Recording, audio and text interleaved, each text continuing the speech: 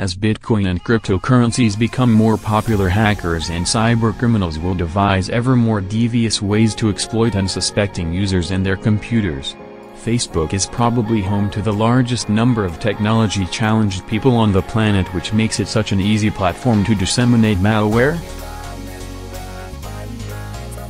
According to a report in The Independent, security researchers at Trend Micro have discovered malware that infects Facebook Messenger in order to surreptitiously mine cryptocurrency. The mining bot, called Digmine, harnesses CPU resources in the background to mine Monero, an anonymous coin which currently trades for around $350. Viral video the malware is disguised in a video file using the name video underscore 4x.zip and will appear to come from someone in your contacts list whose machine has already been compromised. It is activated only via the desktop version of Messenger on Google Chrome and does not currently affect mobile versions of the instant chat software. It can give hackers a backdoor into your Facebook account which can then be used to target everyone in your contacts list, spreading the malware even further. According to the cybersecurity firm, if the user's Facebook account is set to log in automatically, Digmine will manipulate Facebook Messenger in order to send a link to the file to the account's friends.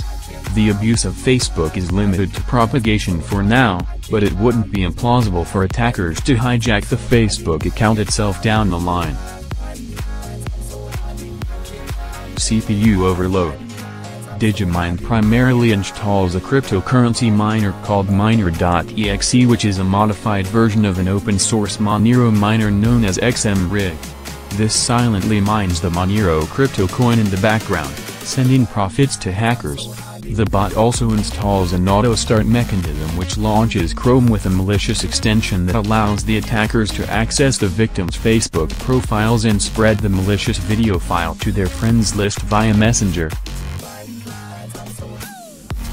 Chrome extensions can only be installed via official Chrome Web Store, however, the hackers have bypassed this by launching the browser, along with the malicious extension, via command line.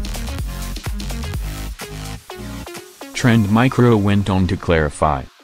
The extension will read its own configuration from the CNC, Command and Control, server. It can instruct the extension to either proceed with logging into Facebook or open a fake page that will play a video. The decoy website that plays the video also serves as part of their CNC structure. This site pretends to be a video streaming site but also holds a lot of the configurations for the malware's components.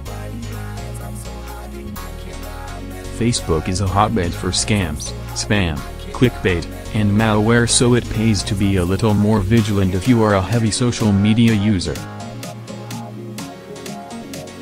Have you been a victim of the Digimine malware? Were you able to remove it from your machine? Let us know in the comments below.